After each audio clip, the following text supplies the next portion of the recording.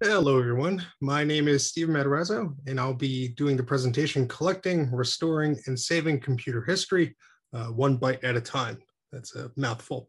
Uh, so we'll get started in just a moment here. Just wanted to introduce myself and um, figure out if we could share the presentation correctly. So I'd like to thank everybody who's helping to moderate these tracks. I'd like to thank uh, everyone at TCF for putting the show on this year. Uh, it's been uh, a wild year. We we planned uh, some stuff for last year, and I'm glad we could continue in some point. And uh, see a lot of new faces, which is great. So I'm happy that uh, our virtual event uh, can maybe cast a wider net than our our uh, physical events. So I'm going to go ahead and try and share my screen here, and we'll see if this wants to work. so there we go. Okay, cool. So I'm Stephen. Uh, I am a vintage computer enthusiast, I guess is the, the best way to describe myself. Uh, I started visiting uh, the Trenton Computer Festival in the early 2000s, uh, and I was an avid shopper of the awesome flea markets that were part of those events. You can see a picture on the bottom right of a bunch of old Apple computers and stuff like that. Uh, those prices are correct $5, $10. Those are pretty cool times to remember. So um, I am uh, someone who always starts stops for yard sales. Uh, I enjoy learning so much about technology. Uh, doesn't have to be uh, anything in particular. I just love a lot of computers, gizmos, gadgets, etc. Uh, I do have a geeky YouTube channel. my channel name is Mac84. If you want to subscribe to that, it's not just Apple stuff, and I'm by no way an Apple apologist or an Apple fanboy or anything like that. I like a lot of the older stuff, stuff that was unique, that was quirky, and I find it very interesting. So uh, that's a little bit about me. Uh, I think all computers are awesome, not just Macs. Uh, I have a bunch of uh, IBM stuff, a bunch of uh, other PC stuff, some Commodore stuff.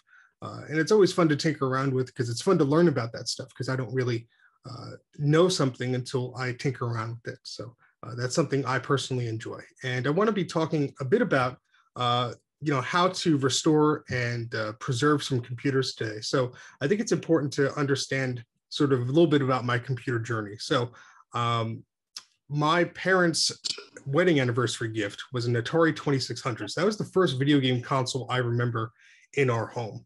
Um, our first computer was a Macintosh IIcx with a color monitor and a color dot matrix printer.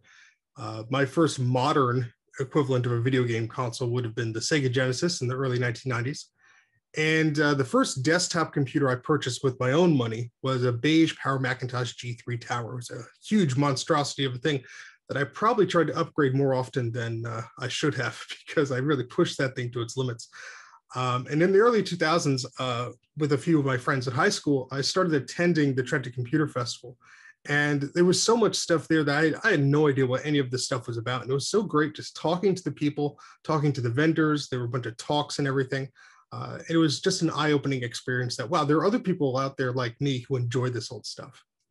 And recently in 2017 i did start my little youtube channel called mac84 uh, i do uh, live streams of preparing stuff. I do scripted videos of uh, historical natures and things like that. So uh, i'm just very interested in this stuff overall. So i thought uh, let me try and share some of the information i know to maybe help some others who are looking into collecting old computers. And it seems to be something that's very in today uh, everybody likes uh, the nostalgia rush of playing around with these old machines. And I think it's something that is a lot of fun, whether you grew up during that era or you're just discovering this stuff for the first time. So we're going to be talking about a bit today. Uh, we're going to be talking about collecting, some do's and don'ts. We're going to talk about restoring, uh, tips and tricks. Uh, we are going to also talk about reviving dead machines. Um, this is something I have some experience with. And uh, we're going to dwell on saving history because there's a lot of aspects to these machines and uh, you know a lot of us may think well that computer is only 20 30 years old. Clearly there must be a manual for it somewhere. Somebody must know the inner workings of how this works. Unfortunately that's not really the case sometimes. So we're going to be taking a look at that. And then we're going to be talking about having fun with these computers because why are you going to collect them if you're not going to use them if you're not going to have fun with them? So uh, these are the topics we're going to go over today and uh, i will leave in some space at the end for some questions if you guys have that. So uh, let's get moving along here and talk about collecting. So you you may want to start thinking about collecting computers if it's something that you are genuinely interested in. Uh, if it's something that you grew up with, if you were excited about playing around with some things or you saw something in your school and you know maybe it just it's it attracts you somehow so why do you want to collect something well, this, this is a question that i ask people all the time because i'll get questions uh, about oh i want this computer i want to do this i want to collect this i want to buy this. I always ask them why because that's it's a pretty general question but it also you know makes you start thinking about well what do you what do you actually want to collect? And, and why? Does that item mean something to you? Is it something that you know you were never able to obtain when you were younger or something you always lusted after in a magazine? There were these pictures of these fancy supercomputers or upgrade cards and stuff like that that were just not obtainable. Um, you know ask yourself those questions and uh, you know you, you probably want to set a limit or set a goal to yourself of oh let me you know i just want to you know obtain stuff from this era or i'm really only interested in this manufacturer or this company you know if you sort of set your net too wide you may not become focused enough to understand uh, the bits and pieces of what you're collecting.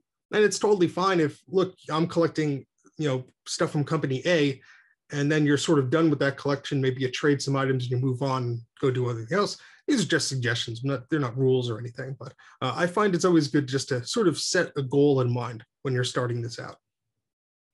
And uh, the second part comes to information. So something that has always just rung in my head is you don't know what you don't know and there are so many places out there online today that make researching these old computers so easy um, you could find out sales numbers how many of these things were sold sometimes um, what known issues? Were there any recalls? Do you need any special cables or requirements or software or hardware to get these things going? This information is invaluable because you don't want to, you know, stumble upon a computer or a video game console or something like that and say, "Oh, this is going to be great. I'm going to play around with this," and then you realize you don't have half of what you need to get started. So, something very important to keep in mind are information about these systems. And probably one of the most fun parts the hunting and purchasing of these items. I mean we are hunter gatherers it's very fun to find this stuff especially out in the wild when you don't expect it. That's usually when you you'll find this stuff when you least expect it. Um, but you know you probably don't want to go to ebay right off the bat. I mean there, there's still some good deals to be had out there on ebay but it's a global marketplace and a lot of people will just rise the prices of these things up uh, to an unobtainable price. We'll be talking a little bit about that later on. Uh, so try social media listings, recycling centers. If you know the guy there, sometimes they're not, you know, keen to sell you something, but you know maybe if you know somebody there, they might be able to help you out. Talk to people in the area. Uh, if you work at a place that has an IT office, maybe you know talk to them about your their old equipment. Uh, they may have a, a you know an arrangement with a recycling center. Maybe they can't give it to you, but you never know. Talk about these things. Uh, you never know what may happen. You may end up that guy at the office that gets all the, the IT junk dumped on you, which I mean, depending on who you are, may be a good thing. And just always remember to meet publicly, be safe, and pay safe. You don't want to meet up, you know, alone, and then the guy, uh, you know, swindles you or you know something like that. Uh, and if you're paying online or if you're paying via one of these social media platforms, et cetera, make sure you know if you get your money back. You know, if you're paying through PayPal, make sure you use that goods option. Don't do it as a friend or family. You can't get that payment refunded. So here are some awesome photos from the previous Trenton Computer flea markets. I took these pictures and uh, some of this stuff people might be looking at, oh, that's junk, but I tried to include uh, some photos here. Uh, has a bit of everything. I mean, I'm quite partial to the old Apple stuff, so there's quite a few photos of that but there's some old IBM towers here. There's a lot of uh, oscilloscope items and other stuff here. I mean, these are these are just excellent things to look back on. And of course, I wish I could go back in time with you know an unlimited amount of money and just grab a bunch of these stuff because uh, you don't see this stuff as often as you used to. And uh, the Computer Festival still has a flea market. It did in uh, 2019 when there was the last uh, physical event that was held. Uh, it's inside a, a, room now. You know, it's not uh, the two huge parking lots it used to be but there's still some good some still some good deals to be had. So you just got to keep your eye out there. Um, but it, just looking back at these old photos is very nostalgic for me personally, and probably a lot of you uh, who have ended up uh, at the TCF show or another one of these computer festivals around the world at one point. Uh, just totally, totally nostalgia rush for me. Uh, just a lot of cool things to, to be found here. And um, I find myself zooming into some of these old pictures and oh wow that was there i didn't notice that you know and this stuff was very reasonably priced priced i mean people obviously wanted it uh, wanted it to go to a good home, and, and most of the time uh, they succeeded at that. So just a little bit trip of a trip down memory lane here. Uh, I will be posting links to some of my personal photos from TCF. Uh, I actually started, uh, you know, being part of TCF again because I wanted to get some of these historical photos and, and bring them uh, to light and everything. So that is something I will be doing. I'll share details on my Twitter, which is Mac84TV. Uh, I also put on my website, mac84.net.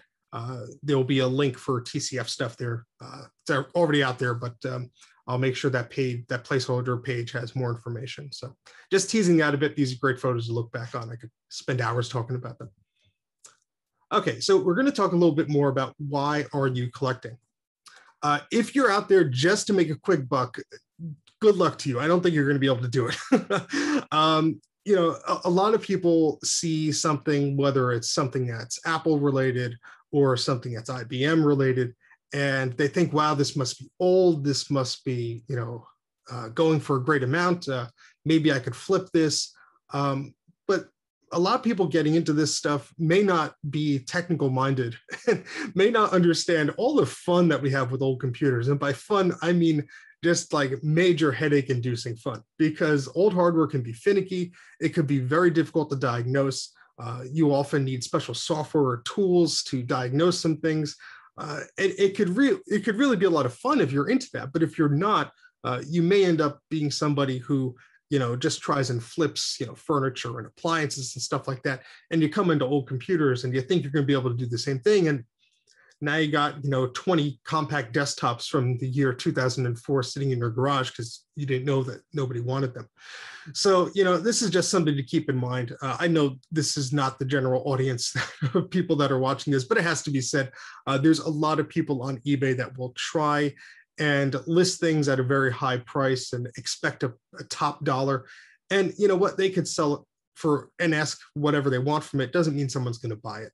Uh, and there's a huge difference between an asking price on eBay and a sold price on eBay. And if you go to eBay and you do a search, you can look at the sold listings or the completed listings, and you can get a rough understanding of what an item actually sold for. So if someone's asking $500 for an item, but you see it realistically as selling for $100 to $200, that gives you a better idea of what that actual item is worth. But you also have to keep in mind, eBay does offer you some protection. Uh, it is a global marketplace, you know, if you're, you're willing to ship it globally. So you get a wider reach and those items are going to be generally more expensive. Now, collectors may pay top dollar for an item, but it's usually if that item has a bunch of information about it, if they know it works, if it's tested, uh, that individual has done their research, and some collectors like me, uh, I might prefer to get something dirt cheap and try and fix it up rather than spend a buttload of money on something and then you know worry about oh is that thing going to work? You know if i get it at a lower price uh, i'm going to mess around with it. If it doesn't work well i learned my lesson. Maybe i tinker around with it. Uh, maybe it's a parts machine now. Uh, i may not be inclined to go on ebay and spend a bunch of money on something uh, especially if that individual seller does not know a lot about the machine and they just copy and pasted a Wikipedia article into their into their listing. So um, another thing to keep in mind here, and we'll go over uh, this in a little bit detail later on, but capacitors, batteries, and other volatile components can often fail in your machine and they can destroy your machine or cause very confusing problems. Uh, old solder joints are something also you have to keep in mind, uh, but capacitors and batteries do leak. And if you've tried to restore any of uh, these old computers, you may have seen they could just erode the logic board and just destroy the components and traces on there. So something very careful that you have to be aware of, uh, especially if you look at these uh, listings and you see a picture of the computer and the lid isn't open, etc you do want to open that up. You do want to ask the seller for a photo. Um, so again, repairing this stuff can be a pain in the butt, um, but you know what? It's it's fun to a lot of people, including myself. Uh, but you have to keep in mind that replacement parts are getting harder to find. Um, and sometimes the knowledge of these items can be lost or the manuals cannot be online. So you really need a community of individuals to help uh, in building a lot of this stuff. And hopefully uh, with these things out there, uh, you know, it can be it could be a, a great experience for everybody. So, all right. So we're going to move on here. Uh, so your own personal nostalgia is a heck of a powerful thing. Uh, you know what you are into or what you had growing up or what you didn't have growing up is your own personal experience. And that could often be what drives what you want to collect. So for example if you always lusted after a personal computer or something like that uh, and you know you never got that particular model you always saw it in magazines you saw it advertised you may want that but somebody else that could be junk. You know i like beige computers uh, from a certain time period somebody else may not somebody else may want the more modern stuff that maybe you know it was just out of their price range a few years ago so um, so that's something to keep in mind. You know, this is completely different for everybody else. If you see a listing online of an old computer, like, wow, why isn't that you know it's much more expensive? The person may not value that. may, maybe cleaning out somebody's house, they don't even know what this is. You know, you just have to keep that in mind. Um, especially if you start peppering them with technical questions and they go, I don't know what you're talking about. I don't, I just found this in the attic. Um, so your personal nostalgia could be a big driver for these things and it's different for everybody.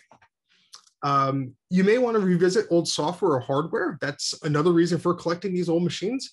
Uh, you may want to share those experiences with your children or your relatives. Uh, there's a lot of great games and stuff like that that are out there that, uh, yeah, you could emulate it on, on some modern hardware, but sometimes it's just not the same. Sometimes it really is not.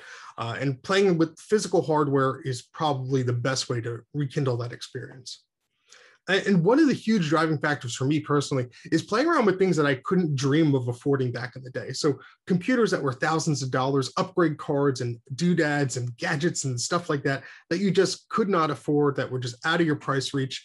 Uh, a lot of these things are pretty obtainable today.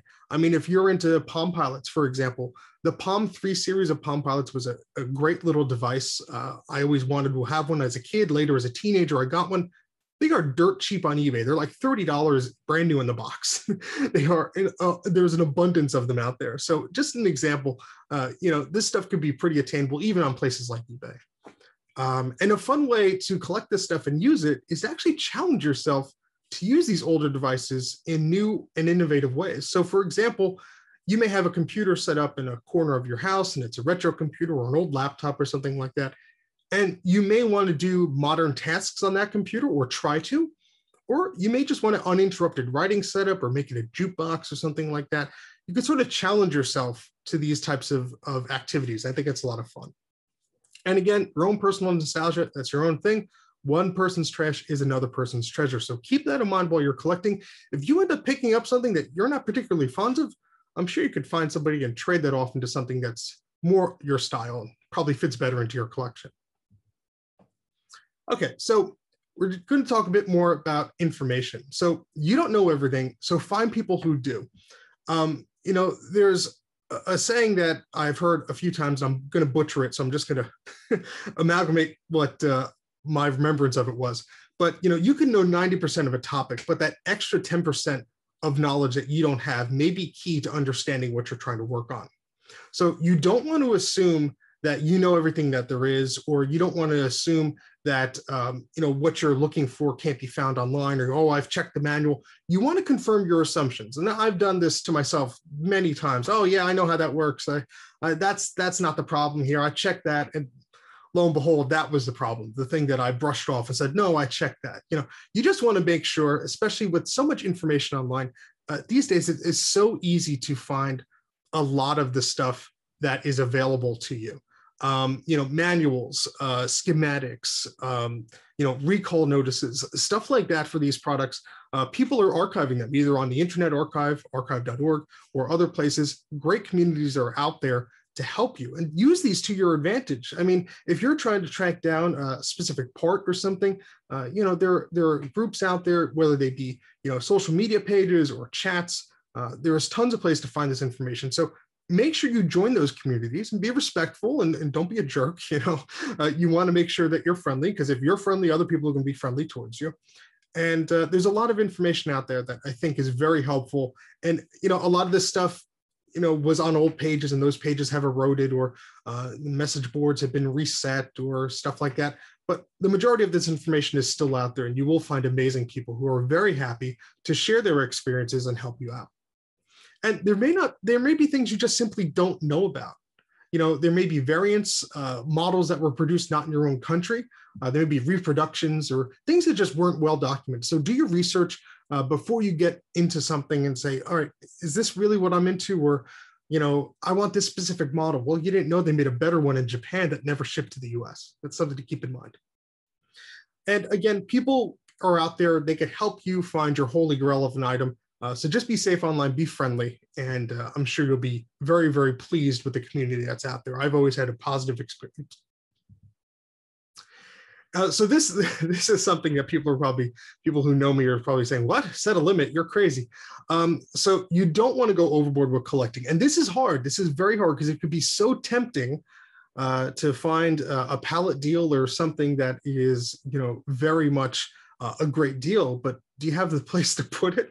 Um, you want to you want to plan. Uh, you want to make sure that you're going to be able to accommodate whatever you're accepting. Uh, old technology can take up a lot of space. Uh, CRT monitors is a perfect example of that.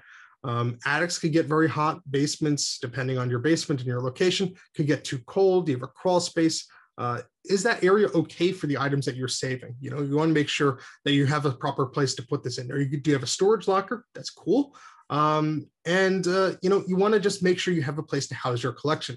Uh, the kitchen table is probably not the best location. Trust me, I have some experience on this.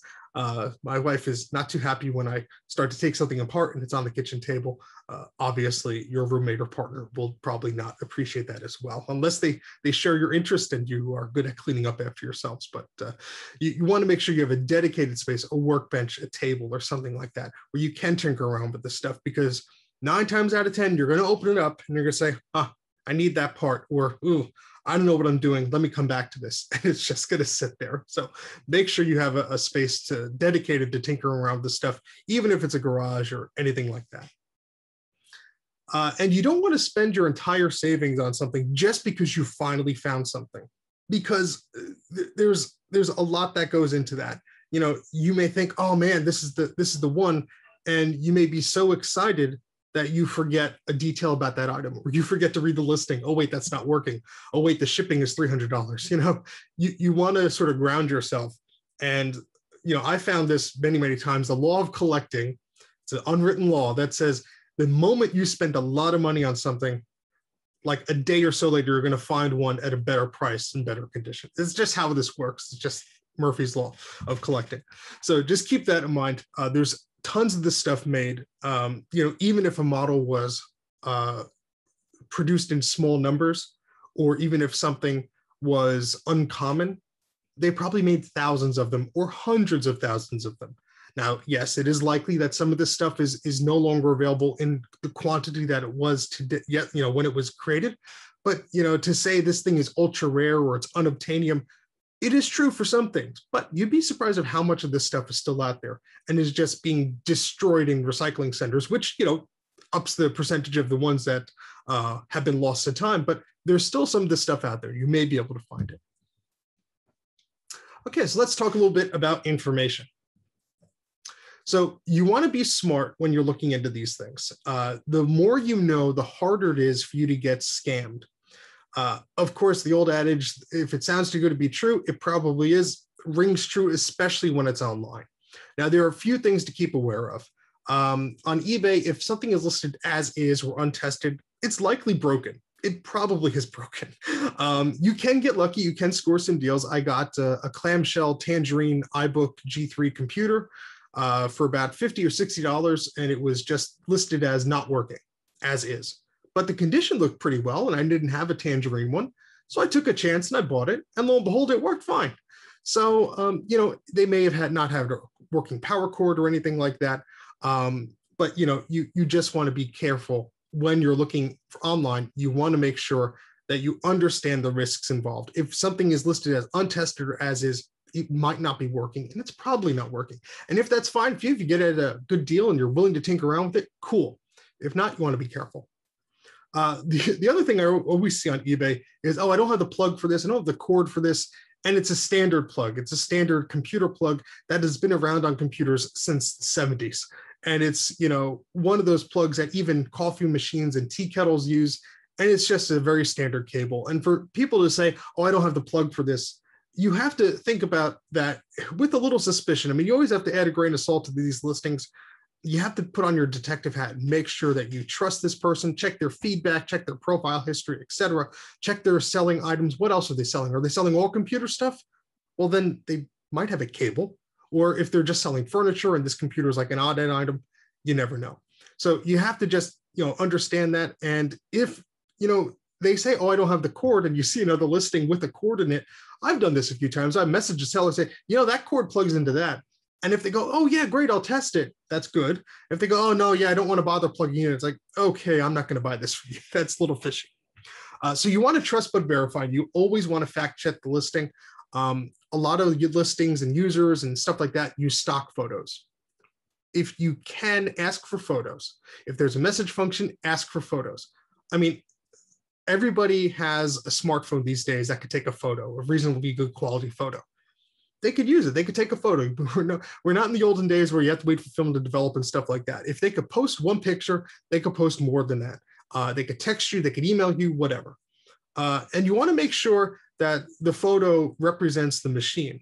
If it shows accessories or things that did or did not come with that computer, you may want to ask them, you know, do you have, you know, any of the other cables that came with this? you don't want to assume, oh, this comes with everything I need just because the stock photo looks like it does.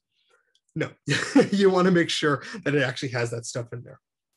And you may want to ask them, you know, when's the last time you plugged it in? Um, you know, did you do you try it? Did you do this, etc. Uh, and you want to just be wary of things like that. You want to ask questions before you give them money. That's the big thing here. You just want to ask questions before you pay them, because once you pay them, if you add a little note in the, you know, your seller or your payment information, they could ignore that. you could say, please pack this carefully. Um, well, they may not. You, they already have your money. So what, do you, what are they going to do? Give it back? Probably not. Um, and again, you know, we all have these phones with pictures, uh, with cameras rather. We can send pictures to each other. You can even video chat. You know, if you have a computer that, oh, geez, is the battery leaking inside of that? Ask them. Ask them to take a photo. Do a video chat. I mean, use these tools to your advantage. Don't don't just uh, you know, get stuck into the mindset of, well, that's the only picture. I'm going to have to take a chance on this. You know, the seller could be, you know, very, very friendly, or they could not. So uh, you just want to think about that. Again, research, research, research, uh, just repeating some things from before. Knowledge is your friend. Uh, there's some great communities out there. Um, a lot of information is out there about the particular machines, when they started selling them, when they stopped selling them, different models, variations, etc. Um, a lot of manuals are digitized, so you can see uh, if you need a special cable or an adapter. Um, there are a lot of modern day equivalents as well. So for example, if you can't find a cable for an Apple Macintosh uh, that connects the desktop to the keyboard, that's an ADB cable, well, an S-video cable actually has the same pin out. As long as you don't get a cheap one that has two connections soldered to the wrong wire or whatever, uh, you could use that in a pinch. So it's very in interesting to look out there at these alternatives. Uh, there are modern day replacements for things, floppy emulators. We'll be talking a little bit about that uh, later on, but there's a lot of cool stuff uh, that is out there because there are a lot of communities that love this stuff as much as you do. Uh, so having the ability to reach out to that community and learn more about these things, replacements and tricks and stuff like that is awesome um, you know, a lot of these people have been troubleshooting these machines for decades, uh, so they'll be able to help you out with some information. Um, and if you don't have the skills to fix it, you might be able to find somebody who can do that. A lot of people offer services online. Uh, to total awesome community out there. So I just can't say enough about it. So do your research, find these communities, and become a great part of it. Uh, again, the internet is a fantastic place. Um, there's the Internet Archive, which you know I've probably mentioned four or five times during this presentation already. Uh, but archive.org is a great place. They have the Wayback Machine where you could type in an old website and see the equivalent of that page from like 1998 and so forth.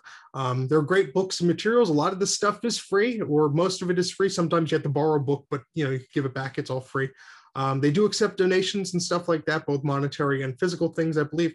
Uh, so check them out. Um, it's a treasure trove of stuff. I personally upload a lot of stuff to archive.org. Um, I'm co constantly scanning in CD labels or manuals or discs and stuff like that. Um, they accept a lot of stuff. So discs, videos, materials. Make sure you check out that, that uh, archive.org page. Uh, it's a fantastic little uh, place on the web if you've never visited it before. Uh, you may also want to check out your local library or school. Some of them may still have old electronic books and stuff like that from the past. Some of that stuff may not be digitized, so that may be a good chance to grab it. Um, again, sometimes those places do purges and stuff like that, so you may not uh, get necessarily lucky. They may not have anything from the past, but you never know. It doesn't hurt to ask. Uh, Google Books is also a great place. Um, some of that stuff you can't really loan out, but you can search. Um, and let's see uh, what else is here. Sorry, my camera's in front of my uh, slide deck. Uh, other online news organizations sometimes sell access um, to back issues and magazine articles and stuff like that. Um, those might be worth it depending on what you're looking for. But uh, again, archive.org is, is a big one there. Uh, and if it's usually not there, you might be able to find it elsewhere, but that's usually the big collection, that and Google Books. So organizing your collection and information is very important. You want to know what you have and what you don't. Uh, you want to record your serial numbers, your model numbers, anything that uh, can help you understand what you have in your collection is great because you might be out in the wild, you might be out at a yard sale, uh, you might just stumble upon something and like, oh, that looks familiar. Do I have that particular one, or or do I not? We've all been there before. You you bring something home and you go, ah, oh, darn, I already had that thing. Um, you want to keep track of what you have. It's very easy to do now. Uh, you have you know a smartphone with you.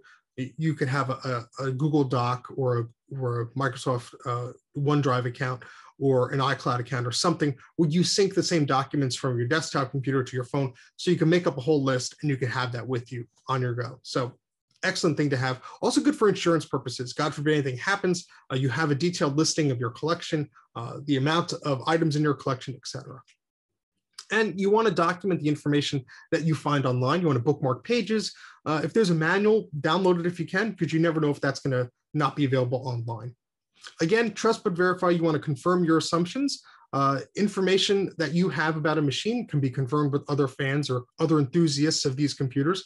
Excellent way to do that is online. Uh, again, you want to make a document that has all your information with you. Uh, and bring that with you. Easy access to this uh, details of your collection is insanely great to have because if you're out in the wild and you just don't know what you don't know, uh, you may be making a foolish decision of buying something for an amount of money. Maybe it's not a great deal, but you thought you needed it, and then you come home you already have it. So uh, that's happened to me before. That's why I stress that point.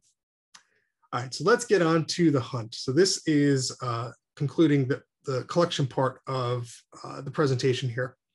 And so you usually will find these items when you least expect it. You really do. I mean, in, in my mind, uh, that happens a, a, good amount of the time. Uh, eBay usually has the highest prices, as we discussed. Uh, shipping can destroy these items, so be very careful. Um, yard sales, thrift stores, uh, other places, Goodwills, stuff like that.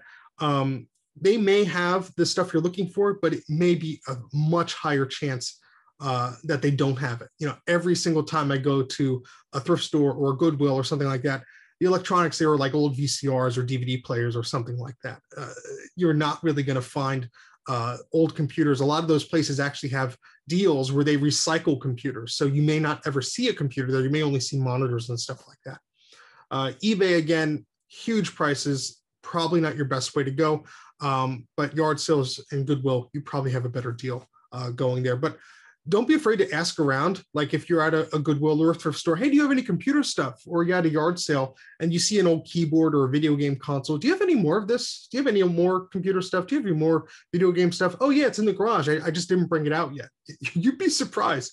Um, I tell the story and I won't tell the whole thing here, but I went to pick up uh, an Apple monitor in North New Jersey years ago. And um, it took me forever to actually schedule this visit and everything.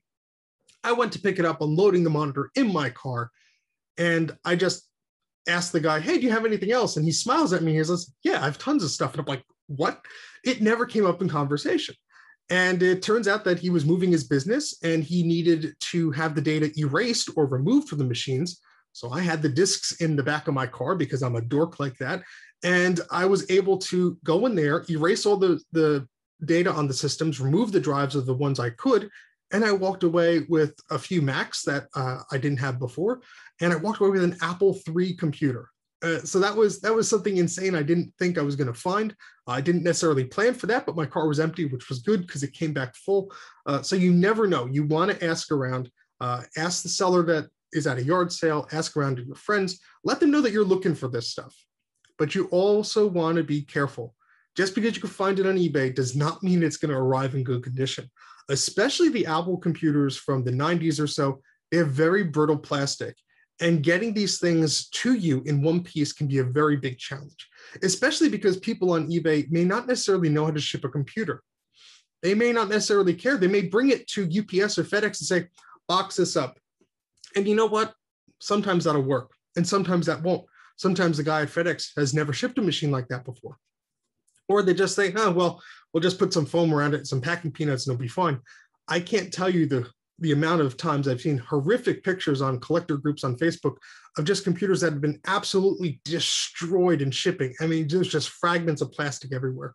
So be very careful, understand the fragility of the items that you are having shipped to you, and make sure you know if this stuff will survive or not. Look online, you'll probably see anything with the CRT. you may want to uh, reserve that for finding locally. It may take you longer to find it, but uh, it's probably better than to worry about something arriving damaged and going through a refund process and all that stuff. Uh, just be aware if things are on the curb or outside, maybe wet, may have bugs inside. Guess how I learned that? Open it in your garage or something like that. Make sure uh, you can open it outside or something. You know, you never know where this stuff has been or why it was tossed out. Um, if you're like me, you might want to keep some tools or some cables or discs or stuff that you routinely use uh, in a closet or in your car. So if you go out to pick up something or go to inspect something uh, from a yard sale or whatever, you have this stuff available to you. A portable battery pack, like a USB one, may be good for testing out phones or MP3 players and stuff like that. Uh, some of the bigger ones can actually power up devices or you get an inverter for your car. Again, this is sort of crazy to think about, but the more stuff you have with you, the better prepared you are. So luck favors the prepared, always be prepared. And again, just because you find something, it may not be the one that you are looking for, may not be the right model. Um, there may be a small, minute difference. You know, just you want to double check yourself. It's so easy to get overly excited, but you want to stay calm. You want to ask yourself questions. How's the condition of this? You know, if it has a crack or a blemish, can that be fixed? Um, is this the exact one I'm looking for? It looks similar, but is it the exact one I'm looking for? Uh, can it be upgraded if it's not? Um, is this located near me? Will the shipping damage it? Um, does it need repair? And if I can't fix this, do I know somebody who can? Uh, if it's not perfect for me, is the individual willing to negotiate? These are all things you should ask yourself when you're looking for something because you never know if this will reveal something about that product that you just assumed. You just want to make sure you ask questions and you want to confirm your assumptions. I can't stress this enough. It's a very important tool because a lot of people just go out and buy something and then they're disappointed when it arrives. So here's a perfect example. Uh, this is a photo from the Trenton Computer Festival back in, geez, 2006 or 2007 or something like that.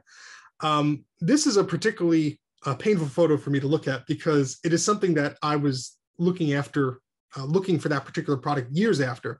So in this photo, you see some CRT monitors for five bucks. You see an old uh, Compaq uh, server there for $100. And in the middle of the photo, you see a G3 uh, Macintosh all-in-one computer. Now, this computer came out right before the Apple iMac, the candy-colored iMac that came out in 1998 or so. Um, came out right before then. It was really only sold in educational markets uh, because it was an education machine, but it packed a G3 processor. It was a pretty neat machine. Um, and it's pretty expandable too. Now, these things were only sold for a matter of months before the iMac came out. They practically discontinued it over the next few months. So this machine is particularly difficult to find. Again, only really sold in the education space here in the United States. So this person was asking $20 for one. The monitor was fixable. Who knows how fixable? Um, but yeah, a, a heck of a find back in 2007 for a product like that. Now, fast forward to today, uh, these things are an oddity to some people, like myself. I love a machine like this because it sort of tells the story of the iMac. It shows you what came right before it. And this machine was more expandable, had a built in option for a zip drive, had a built in floppy drive, two things the iMac did not have, had the full legacy IO of Macintosh ports, your serial ports, your ADB ports, your SCSI ports, PCI slots, everything the iMac did not have. This machine had a bigger screen than the iMac, etc. Now, it weighed a ton but that's uh, um, probably a bit more history than you're you're willing to to learn about this item today. But the point of this is that was back in 2007. This was an auction that ended this year, $775. Now, This was a national auction. Is an auction, so people can bid however much they want. I forget what the starting price on this was, but the shipping price was $120 or so. Probably did not survive shipping, unfortunately, unless the person really knew how to pack this. Now, is this machine actually worth $775? To me, no, absolutely not. Uh, I probably wouldn't pay over $200 for a machine in good condition uh, for a number of reasons. However, this eBay effect of things being inflated and sold prices being what they are worth sort of shoots this price up there and people say well that's the price that that uh, they go for that must be what the computer is worth it's all subjective you want to see what these listings go for this individual says they were only willing to ship to the united states but you don't know. Maybe someone contacted the seller and that seller said well if it goes over $700 i'll ship it to you know the uk but you know you have to pay the extra ship for shipping. And that's why the auction went up in price. You just don't know these things. You don't know. Um, and you, you have to just keep that in mind when you're looking up these things. I don't think that's a reasonable price for this computer. Uh, if it had the box and everything and the keyboard and the accessories, maybe 400 $500. Again, that's my personal opinion of this stuff. Uh, I am currently working on a vintage pricing guide that I'll put on my website, my Twitter, once it's done. Uh, there is a draft of it on my website now. Go to mac84.net. Uh, there is a pricing guide there. Uh, it really covers some of the earlier Macs and not this stuff yet. But again, you just have to think about what is it worth to you? And to me, this is not worth $775. It's cool, but it's not worth that much. And your patience will pay off because I got this one for free. This was the exact model that you saw in the previous photo there.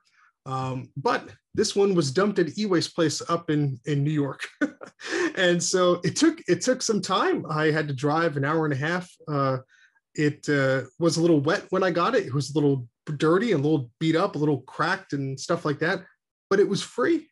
And it's exactly what I wanted as part of my collection, something to, to look at, something to fix up.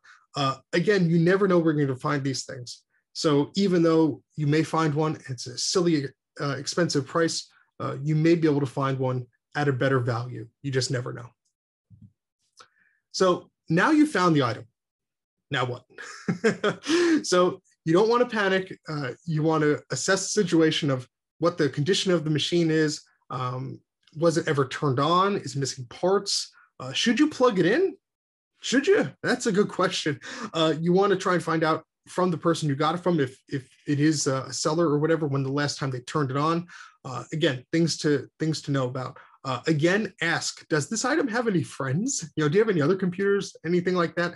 You want to write down all this information and record it. You're going to forget in a few weeks or a few months. Trust me, especially if you collect a lot of this stuff and think, well, where did I get that machine from, etc. Uh, now you want to inspect it before you test it. Uh, we'll get into some of the technical reasons why, but you want to make sure that you're outside, you're in your garage, you know, maybe a capacitor will blow or something like that. You don't want to set off your smoke alarm. So you just want to think about this stuff um, because once you get the item, you're not out of the woods yet. You still have to make sure it works. Uh, even if it was tested when you bought the thing, a lot of this stuff is, excuse me, a lot of this stuff is 20 to 30 years old these days. Uh, so it's very important to make sure that those items that are inside of that computer are still in good working condition. And so just a little bit about purchasing here, and then we'll get on to restoring.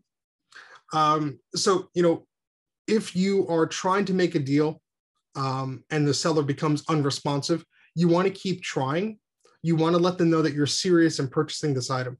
You also need to understand the quirks and weird things about these social media platforms. Some of these platforms will tell you when a message has been read or received. Use that to your advantage. Uh, your knowledge about this product can be the seller's worst enemy, but you don't want to, you know, be a jerk about it or you'll ruin the sale. You know, you know about this machine, how many of them were made, what its quirks are. But if you start saying, "Oh, I'll pay you 50 bucks for this," you're you're asking too much, uh, and they want much more than that. They'll, they'll probably block you, and you you won't have an, a, an ability to negotiate. So have an open dialogue. Be honest. Uh, if they have a lot of items, say, yeah, "I'm only interested in this item." Uh, you want to inspect it if you can, um, and you know, if possible, you do want to have an open negotiation with the seller and say, "Look."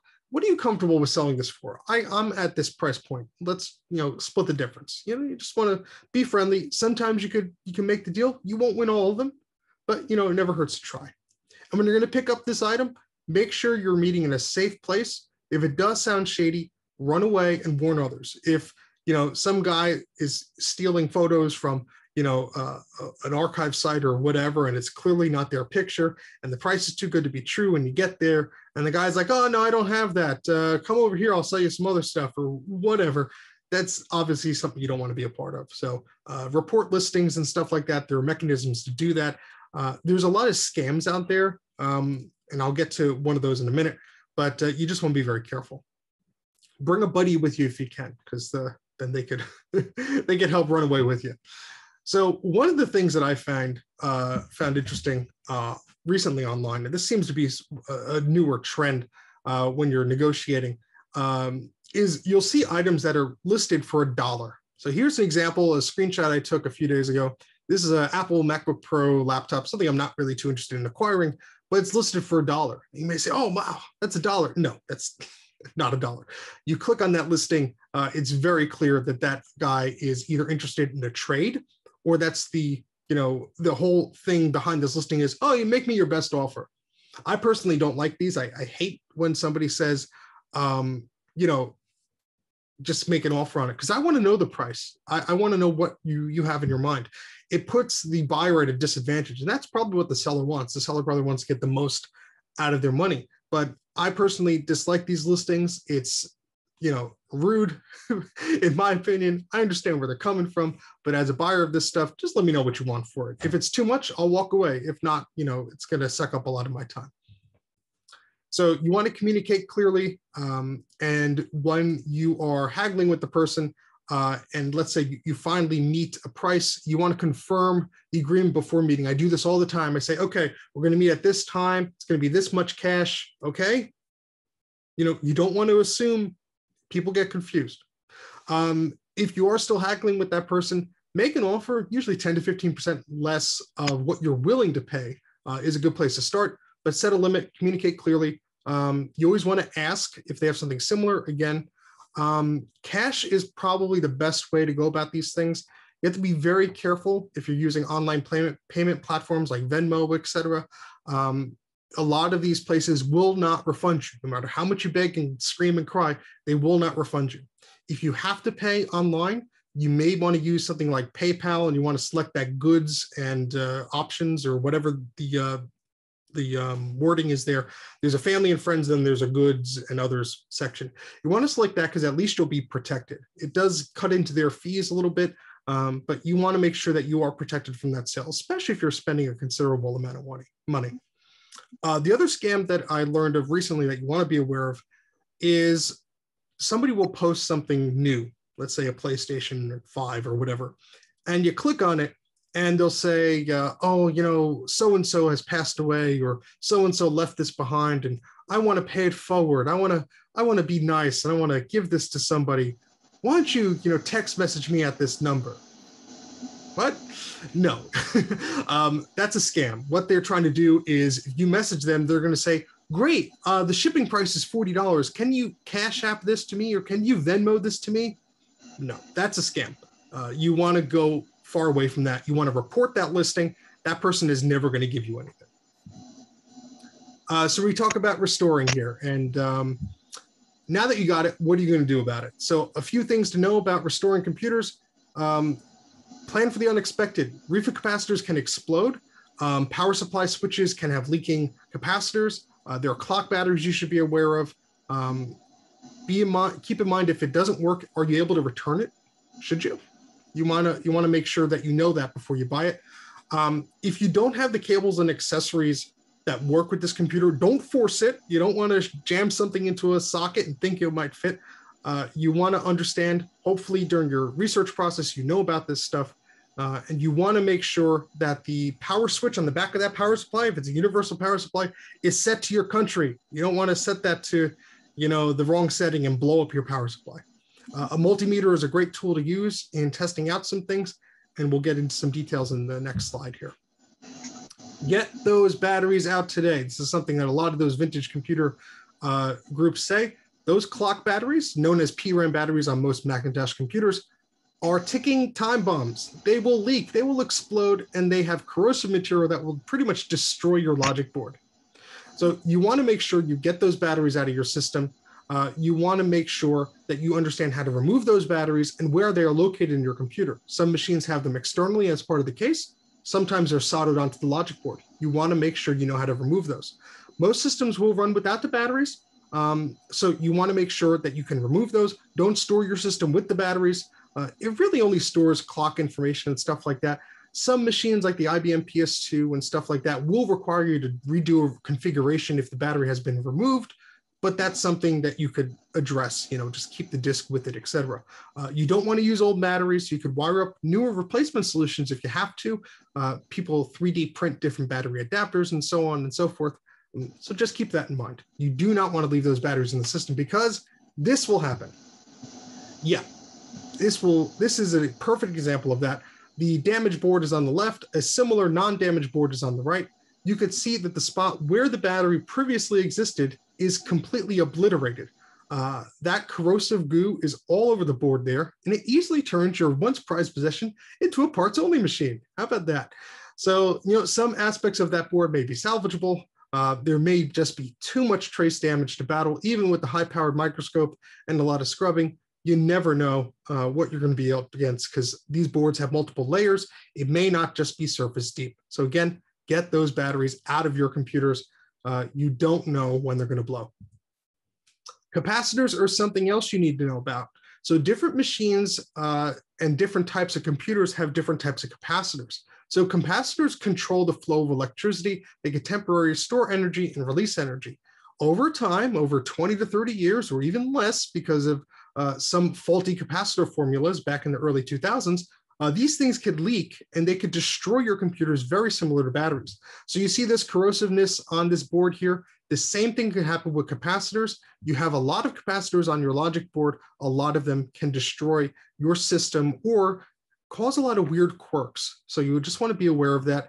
Um, you want to make sure that you could remove those capacitors if those capacitors are bulging or they're leaking, you should replace those and replace those carefully. Do not twist them off with pliers. I know the 8-bit guy has showed that in some of his videos.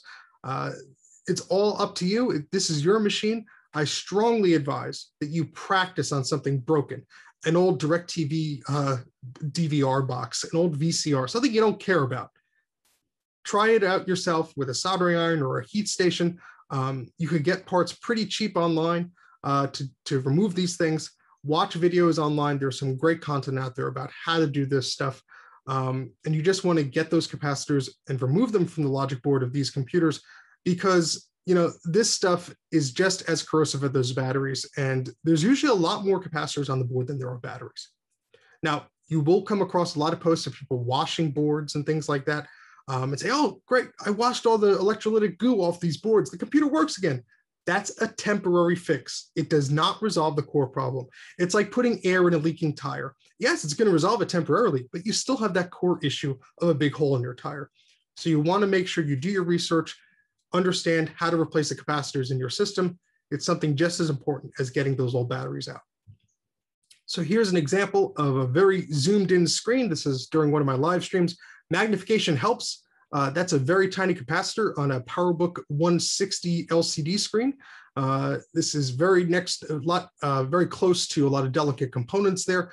Um, so this was me using a soldering iron and some tweezers to remove some very stubborn and old capacitors on the board. That black goo to the right is old solder and junk. You wanna make sure you wipe that away from the board. Uh, you wanna make sure you have nice, clean solder pads when you're putting those replacement capacitors on there. Okay, so uh, treat it right. Don't neglect it, show it love. Again, these are just things to keep in mind when you're restoring these machines. Um, you want to make sure that you're understanding of how these machines work and how to keep them running. Again, if you don't longer want something, you want to trade it with the community, that's a great thing to do. And the last section here is saving history. So you want to make sure if you're getting into this stuff, you probably know a little bit about this, but you want to copy those floppies because it may be the only one left um, floppy disks do not last forever, neither do hard drives or SSDs. You want to make sure you have a good solid backup of your own personal data and of your goodies that you find online. Um, the version you see online may not be complete, may be incomplete, never hurts to have another copy. There are some modern solutions out there uh, for vintage disk drives uh, that do exist today. So you have like floppy emulators for both PCs and Macs and Apples. Uh, you have SCSI to SD adapters, IDE to SD adapters, things that could emulate an old hard drive, an old floppy drive, etc. Uh, you want to make sure your hardware is clean, the heads of your floppy drives clean, etc. That may you know, give you an idea of why you're getting errors or something like that. And when in doubt, reach out to the community. If you don't know how to copy that particular item, uh, you may be able to get some help. The hard drive on your computer, if it has one, may be the original one. So don't turn on that hard drive, even if it's dead. You know, you never know, might spring to life uh, until you have a backup plan in place, because you want to be able to remove that data and copy it off if it's important. Uh, the original software disks may be long gone, but some systems never shipped with anything. The Macintosh Performa series is an excellent example. Did not have a CD-ROM drive. Apple gave you a backup program and expected you to use probably a stack of floppy disks to back up the original software that came on that machine. A lot of demos and trialware and stuff like that were probably lost to time because they were installed on that machine and not included elsewhere. Again, if you don't know how to properly archive the disk, ask somebody. A lot of modern computers can make this tricky. A lot of formats, especially for old Macs, are challenging because some of the newer operating systems cannot write to that system or cannot read that file system anymore. So you want to be very careful. Um, disk covers, instructions, serial numbers, all that information is great to archive. You have a scanner, scan it in or make a note of it um, and preserve that stuff. It's, it's excellent to do that. Uh, again, know your hardware. Here's an example of a floppy drive that needs recapping. So, uh, you know, that's something to be aware of. USB floppy drives are fantastic, but they may not be able to read all formats, especially the older Macintosh disks, which uses a variable speed motor. So understand the format and the hardware that you're working on. And you may have something else that nobody has. Again, you want to archive and share this stuff. Uh, if you don't know how to do it, make sure you find somebody who does. I'm sure you can. Um, a lot of this stuff is being lost to time pages are going offline, content is being lost, uh, physical materials are dying. So make sure you actually have the ability to share this stuff. Um, it's, it's a great resource for anybody who's getting into this. Uh, some do's and don'ts of archiving before we end here. 99% uh, of the time, if it's old, it's pretty good to archive. You know, archive first, ask questions later. No one's going to really come after you, especially if it's on like archive.org. I mean, they deal with all that stuff. Obviously, you, you don't want to put up sensitive information, um, you know, do your research about this stuff. Uh, you know, you could probably ask for donations, but sort of a gray area there. Um, make it free, make it publicly available. Uh, archive.org, Macintosh Garden for Apple stuff, perfect examples. And don't share personal information. That's not what we're after. We don't want someone's tax records or whatever. We want drivers for old software. We want old games and stuff like that. That's really what the, the whole archiving business is about. And last part here is just briefly about having fun again, if you're going to collect these machines, make sure you do something fun with it. Uh, there are plenty of us out there who enjoy using this stuff, uh, plenty of communities out there that exist. Uh, make sure that you take advantage of those. There's some very cool modern accessories that are happening uh, for people today that you could actually use. Uh, so make sure you, you learn about that sort of, uh, sort of stuff. And set up a retro corner of your computer. Email you sent, shared with me. Yes, exactly. so uh, set up a retro corner of your home, put a computer uh, there. You know, computer is not fun without a disk drive and a printer. Get your geek on, be creative. tons of stuff you could do. Uh, share it with other people. And uh, yeah, that's pretty much it for having fun. The whole point behind this is if you have something, make sure you use it. If you're bored with it, share it with somebody else and keep the community safe. If there's something suspicious out there, make sure everybody knows about it. Uh, you want to make sure this is a safe spot for everybody you know, new or old, young or new to the the the stuff. You know, you want to make sure that everyone is having fun with this stuff. So that's my talk. I know I've been a little bit long there, but uh, hopefully you learned something. There's uh, a bunch of other stuff uh, on my website there, and I do some YouTube stuff as well. You're probably aware of that. Uh, so thank you very much for attending. I'm going to open it up to questions. If anybody has questions about computers in general or collecting, be happy to take those on.